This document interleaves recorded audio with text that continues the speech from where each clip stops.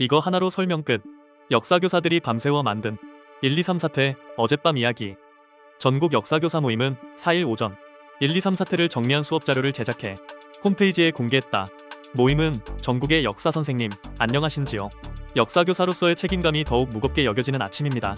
전국 역사교사 모임에서는 긴급하게 1, 2, 3 사태를 정리한 수업 자료를 제작하였습니다.